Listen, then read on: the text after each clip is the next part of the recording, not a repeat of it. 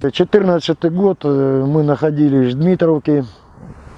Э, 5 августа э, Украинская техника вышла туда через Никишин, они прорвались через Шахтерское как-то они вышли и отрезали. Опять же наш батальон был Семеновский отрезан. Дмитровка была отрезана. В районе Зрубного. Они вышли в район Зрубное, по-моему, да? Поселок Зрубное между Дмитровкой и Снежным. Э, И отрезали дорогу. Дорогу, граница Снежное. Будем так говорить. Э, В этом районе, в поселке Зрубное, там э, погибла группа, группа ВГТРК. Там погибло 6 человек наши, там погиб Ящур, Грек, Маринка Багира, они везли на продукты питания, сигареты на Дмитровку со Снежного, батальон. И как раз попали под обстрел, погибли. Вот.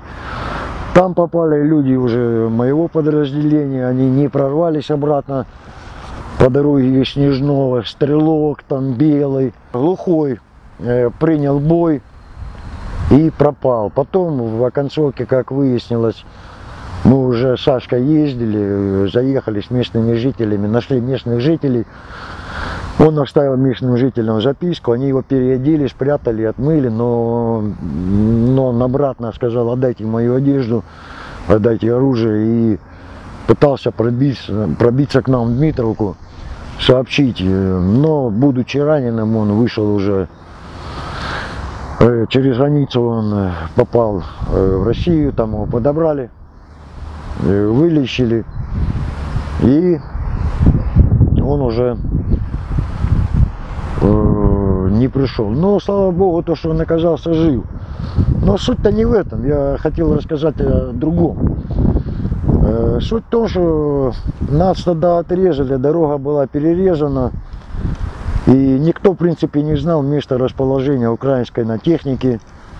Вот, начали ходить, вот, э, я ходил и э, с Александром мы начали ходить, узнавать у людей, Латышева поселок, э, Подмитровка, где, как могут оказаться э, укроповские войска, технику, где можно было спрятано, спрятать технику. И в оконцовке решили сходить, будем так говорить, пробрались окольными путями, выяснили, что э, в поселке Зарубном за кладбищем есть и котлован, э, рукотворный котлован, э, э, какой обычно сооружают там в колхозах для накопления воды, вот, для полива воды.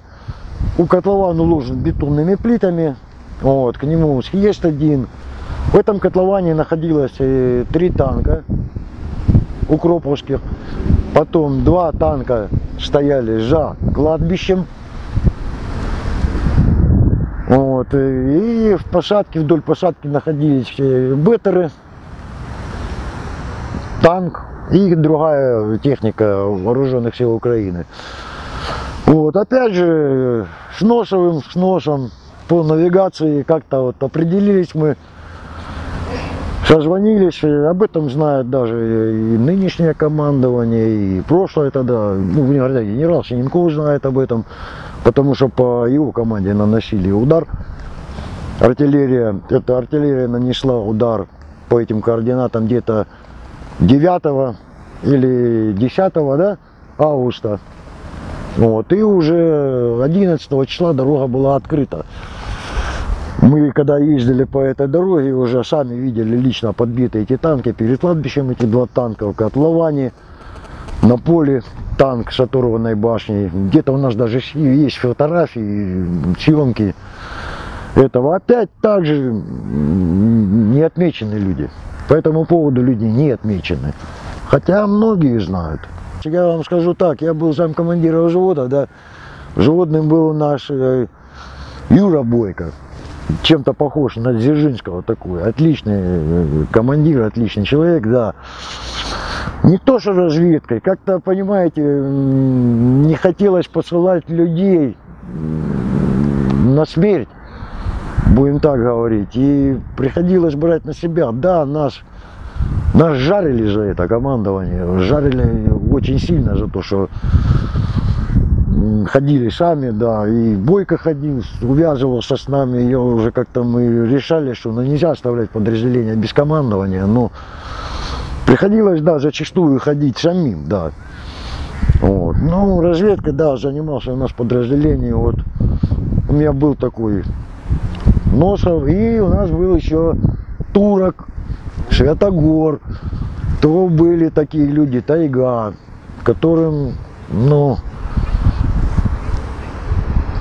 хлеба не дай, но сходить где-то пошерстить по укроповским тылам, такое, где-то что-то, да, ну, занимались у нас этим люди такие, да.